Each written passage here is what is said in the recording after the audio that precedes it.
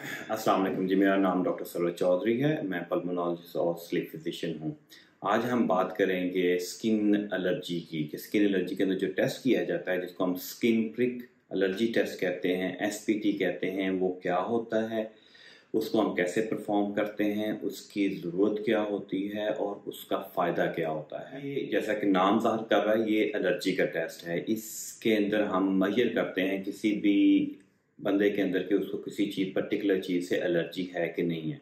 Allergy क्या है? ऐसे एक ऐसा रिएक्शन है जिसम के अंदर अगर आपकी बॉडी के ऊपर कोई केमिकल या कोई चीज़ लगती है या सांस के थ्रू अंदर जाती है, पेट में जाती है तो आपका कुत मदाफत उसको रिएक्ट करता है और उसको बाइंड करता था कि आपके जिसम के अंदर कोई डैमेज ना कर सके। जब वो उसको कंट्रोल करता है तो आम मेजोरिटी पेशेंट्स के अंदर उसका आपको पता भी नहीं होता, आपका कुत मुदाफ़त उसको लड़के उसको कंट्रोल कर लेता है। लेकिन कुछ लोग ऐसे होते हैं जिनके अंदर कुत मुदाफ़त का निज़ाम ज़्यादा अग्रेसिव होता है। जैसे ही कोई उनको वो केमिकल या सब्सटेंस उनके जिसम के अंदर जाती है किसी भी रस्ते से तो उसका जो रिएक्शन होता है, वो ज़रूरत से ज़्यादा हो जाता है। ना इससे वो चीज़ तो क्लियर हो जाती है, लेकिन उसके जो साइड इफ़ेक्ट्स आना शुरू हो जाते हैं। वो डिपेंड करते हैं कि वो कहाँ पे उसका प्राइमरी एक्सपोजर और रिएक्शन हुआ है। तो वो चीज़ें या केमिकल जिससे ये रिएक्शन होता है, हम उसको अलर्जेंस कहते हैं। अलर्जेंस आम तौर पे कॉम्प्लेक्स प्रोटीन या कार्बोहाइड्रेट या कॉम्बिनेशन कंपाउंड्स होते हैं जो कि नेचुरली अवेलेबल uh, होते हैं हमारे सराउंडिंग्स के अंदर। तो स्किन प्रिक टेस्ट ये एलर्जी का एक टेस्ट है जिसके अंदर आपके जिल्द के अंदर थोड़ी सी मन्यूट सी मकदार जो होती है वो नीडल के ज़रिए से जस्ट आपकी स्किन की सरफेस के नीचे दाखिल की जाती है।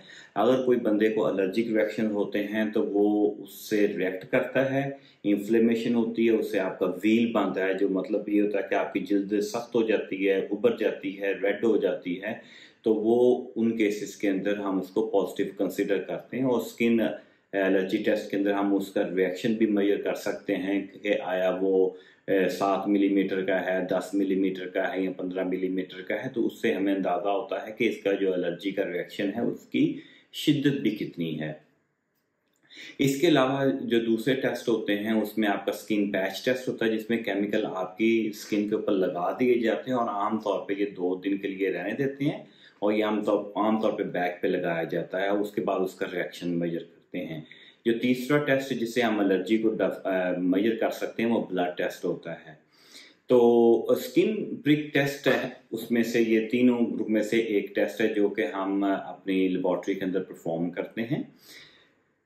इसके अंदर जो हम एलर्जेंस इस्तेमाल करते हैं, वो मुख्तलिफ़ हैं। एलर्जेंस जिनके बारे में हम टेस्ट कर सकते हैं, वो आम तौर पे पोलन्स होते हैं, जो मुख्तलिफ़ पौधों से या घास ग्रासिस में से निकलते हैं। तो आप जब इनहेल करते हैं तो वो आपकी सांस में, गले में साइनसिस में या फेफड़ों के अंदर एलर्जी करते हैं तो हम उसको मेजर कर सकते हैं।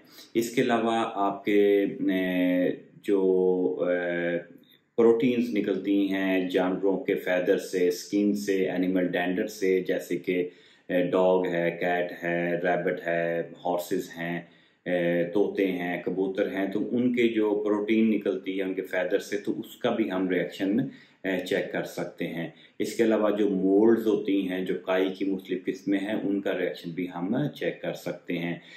बहुत सारे पेशेंट्स जिनको एलर्जिक प्रॉब्लम होती है, वो डस्ट से डस्ट माइट से एलर्जी होती है। जो डस्ट एलर्जी होती है बेसिकली ये एक छोटी सी माइट या कीड़ा होता है, जो कि आपके कपड़ों में कारपेट्स के अंदर मौजूद होता है और उसकी जो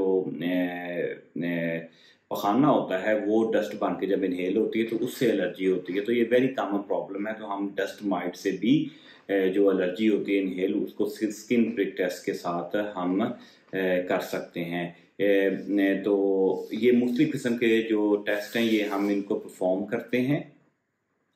इस टेस्ट के लिए ज़रूरी है कि पेशेंट कोई भी दवाई जिससे एलर्जिक रिएक्शन कम हो जाते हों, वो पाँच से सात दिन के लिए रोके, जिसमें मेनली आपकी एंटी हिस्टामिन टैबलेट्स होती हैं या कि स्टीरॉयड की गोलियाँ ले रहा है तो वो भी हमें इसमें बंद करना पड़ती हैं।